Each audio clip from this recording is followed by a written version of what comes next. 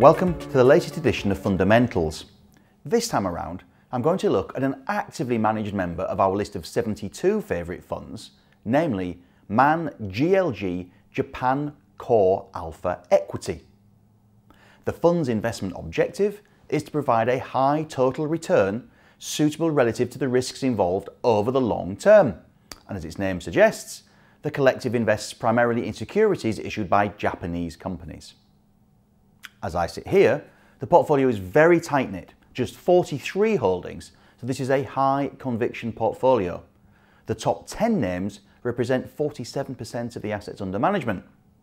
The leading positions are Toyota Motor, Japan Post, Honda Motor, Megabank Mitsubishi UFJ Financial, and then Nippon Steel and Sumitomo Metal. By sector, financial services, industrials, and consumer discretionary stocks dominate at 33, 17, and 15% of the portfolio, respectively. By contrast, the fund has no exposure at all to telecoms, healthcare, or consumer staples, sectors which could be classified as expensive defensives. This fund style is clearly, therefore, much more about large cap value. The experienced team of money managers led by Stephen Harker focus on companies which are out of favour with the wider market and trading, in theory at least, on cheap valuations. If companies can be found at compelling value where the business is not in terminal decline, the team reasons that any shorter term issues holding the company back will pass and the valuation will at some stage revert to a more usual higher level. Do note, however, that this style can lead to shorter term periods of underperformance relative to the benchmark, which in this case is the TOPIX Total Return Index. The fund comes with an ongoing charge figure of 1.08%, so you do have to pay for the manager's expertise. And for those who put faith in such things, the fund comes with a three star Morningstar ranking. As a final point, uh, MAN GLG Japan Core Alpha Equity is eligible for SIPPs, ISAs, and dealing accounts, and the minimum investment is just the one share, although they do cost over £205 each at the moment. So those are the mechanics. The question to address next is why could investors consider this fund for portfolio inclusion today? And I think there are three perfectly possible reasons. The first is that Japan's stock market is not trading at or very near its all-time highs, unlike say the UK or USA. In fact, at around 22,500, the best known index, the Nikkei 225, trades more than 40% below the peak it reached all the way back in December 1989. Now that may catch the eye of contrarians, especially as strategists suggest Japan does not look expensive, using valuation metrics such as price to earnings or price to book value. Second, Japan's stock market has done badly because it's been in a low growth, almost deflationary funk ever since the end of the 1980s. But Prime Minister Shinzo Abe and Bank of Japan Governor Haruhiko Kuroda are both trying to do something about that. Since his December 2012 general election triumph, Prime Minister Abe has launched his Three Arrows or Abenomics programme. This includes huge fiscal stimulus from government spending, huge monetary stimulus from negative interest rates and quantitative easing, and a package of social, economic, and political reforms, which are also encouraging Japanese companies to be more shareholder friendly. Dividends and share buybacks are on the rise, and GDP has grown quarter on quarter for eight periods in a row. That's the best run since, wait for it, 1989. In addition, Japan is the best performing major geographic region in stock market terms since Abe came to power in late 2012. The third reason to look at this fund potentially is that MA MAN GLG Japan Core Alpha Fund has a value bias as already described, and it's possible to argue that value is coming back into fashion.